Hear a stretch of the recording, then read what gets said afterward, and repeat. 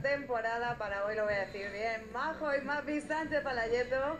Bueno, me imagino que además después de este partidazo que habéis hecho en el que hoy sí os ha costado pelearle cada punto a Pati y Eli, la alegría tiene que ser inmensa, Mapi.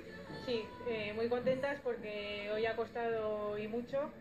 Hemos en el segundo set ahí hasta tenido el break en contra, pero bueno, lo hemos sacado adelante y súper contentas. Bueno, números uno, tercer título de la temporada, Majo, sin duda esta temporada parece que, que empieza bien. Bueno, sí, estamos muy contentas porque hemos empezado muy bien, pero sabemos que cada torneo, en cada partido hay que, hay que luchar mucho y sacar cada punto adelante. Y nada, yo quería agradeceros a todo el público que ha venido a ver la final eh, y por animarnos a todas las chicas y el padre femenino.